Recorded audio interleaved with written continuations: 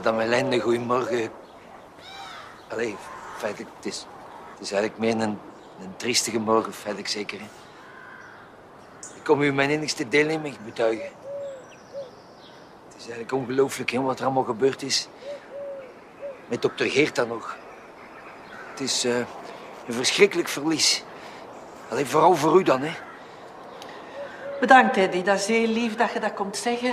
En dat je de moeite doet om tot hier te komen, maar... Oh, maar dat is keer gedaan, hè. Een woordje van troost, dat, dat kost geen geld, hè. Allee, ik wil zeggen, dat, dat is geen moeite, hè. Dat is geen moeite. Ja, ja, ja, natuurlijk. Maar eh, ja, het, het zijn moeilijke dagen voor mij. Hè. Heel moeilijke dagen. Ja, dat zou wel. Dat is juist met mee. Ik zei, ik ga dan een keer een klapje gaan doen. Want een keer uw hart te kunnen luchten, dat doet deugd, hè.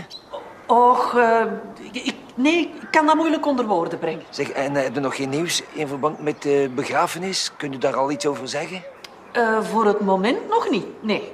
Maar ik zal zeker een doodsbrief sturen als het zover is. Maar als je me nu wilt excuseren...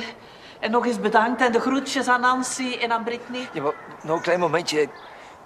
Ik wil u niet lastigvallen, maar er is toch nog één eh, klein dingetje dat ik met u zou willen bespreken, alstublieft. Als het niet geeft. Jij durft toch nogal, hè? Geertien is nog maar, nog maar pas. En jij, jij komt al bedelen om zijn geld. Nee, nee, nee, nee, nee, nee. Je mocht dat zo niet zien. Nee, dat, dat is geen bedelen. Ik zou niet durven. Ik kom alleen maar even checken. Een keer horen of dat die afspraak met dokter Geert nog altijd geldig is. En pas op, het is niet eens voor mij, hè. Het is voor mijn kleine Britney. Voor wie dat het ook is, hè? ik vind uw manier van doen schandalig. Be begrijpt je niet? Hoe dat je me daarmee kwetst? Ik heb nog maar pas verschrikkelijke dingen gezien. En ik, ik zie die nog altijd constant voor mijn ogen. En nu zeg, zeg jij tegen mij dat ik over geld moet beginnen. Oh, jongens, heb ik nog niet genoeg miserie? Madame Mélène, pardonneer mij, maar dat was niet de bedoeling.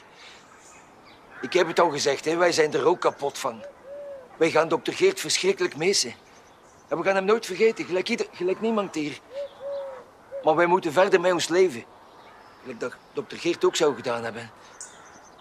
Dokter Geert, meinst ook, dat was een en al vriendelijkheid en gedienstigheid. En de laatste dienstbewijs door zijn laatste wensen te vervullen. Nee, zeker wat betreft zijn petekind. Want ons Britney, dat schaap, die is ook verder pruit.